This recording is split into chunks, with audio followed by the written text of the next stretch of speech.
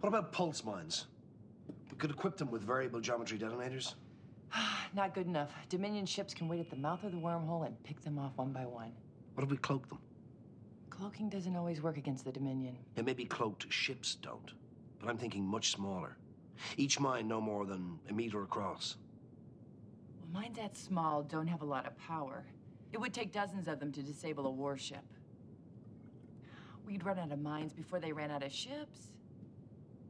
Rom, are you here? Cloak, small, dozens. I heard every word. Well, something's wrong. You haven't touched your food. It's my stomach. Ever since Captain Sisko agreed to officiate at our wedding, I haven't had much of an appetite. I thought you wanted Captain Sisko to marry you. I did, but now that he said yes, it's become so real. I'm going to get married. Not for another two weeks, and in the meantime, we have work to do. But what if Leeta turns out to be just like Nog's mother? What if I can't make her happy? What if this is the biggest mistake of my life? What if. Rom! Self replication. That's the only answer. Self replication? If the mines are going to be small, we'll need a lot of them. And we'll need a way to replace them quickly if the Jem'Hadar try to blast their way through. And. I forgot to request new quarters. Mine are too small. Where are Leeta and I going to live? Rom, I think you're onto something. I know I am. I've measured them three times. There's nowhere to put her prayer mandala. We could equip each mine with a replicator unit.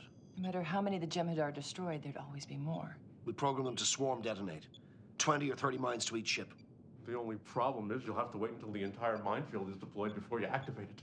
Otherwise, the proximity sensors could cause premature detonation. Where's Leeta gonna put all her clothes? I don't have enough closet space. I better go talk to Sisko. I'll go drop some specs. I've got to go to waste extraction.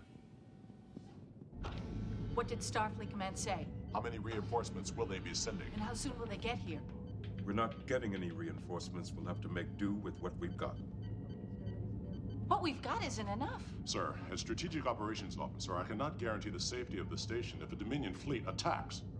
Your concerns are noted, Commander. What's Starfleet thinking?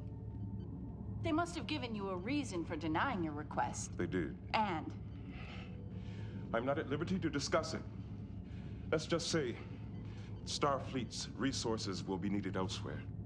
what could be more important than defending this station? That is not for us to decide. What are our orders, Captain? Deploy the minefield and prepare for a Dominion attack.